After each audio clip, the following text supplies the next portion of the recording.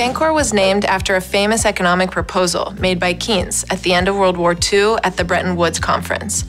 He suggested a supranational currency that would help facilitate trade among nations. Keynes believed that using an international reserve currency could help protect smaller or deficit nations from constantly being in debt to stronger currencies. Keynes's proposal actually inspired us to think if there was a way to utilize this concept with smart contracts to achieve the same objective of facilitating the ability for different currencies to trade with each other.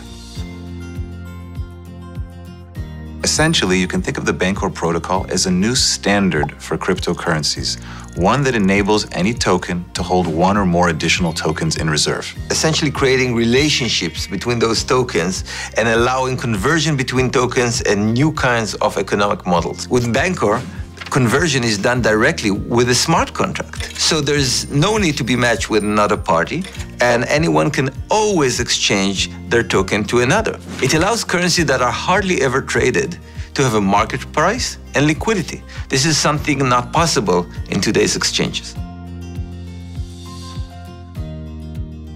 Bancor works on smart contract blockchains and supports any standard token.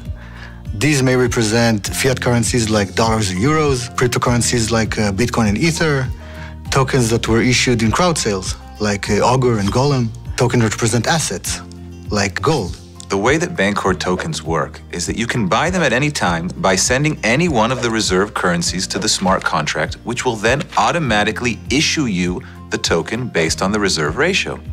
When you want to pull money out of the reserve, simply send the token back to the smart contract, thereby destroying that token and pulling out money from the reserve based on the ratio between the token and the reserve. The algorithm calculates the conversion rate between the tokens while preserving a constant ratio between the reserve's value and the Bancor token's market cap. This ensures that reserves are never drained out.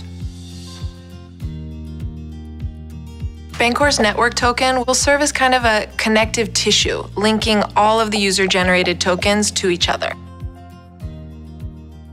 The beauty of Bancor is that the more people use it as their reserve currency, the more value it captures. It essentially encapsulates the network effect of every Bancor compatible token.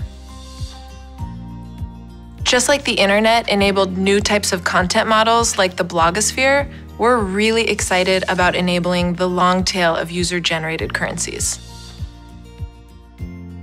We envision a world with even millions of tokens that are highly effective locally and yet tradable globally. Because the Bancor protocol is a building block for a new type of monetary system on blockchain, we're only beginning to discover the different use cases, from decentralized ETFs to community currencies, uh, a new type of autonomous decentralized exchange.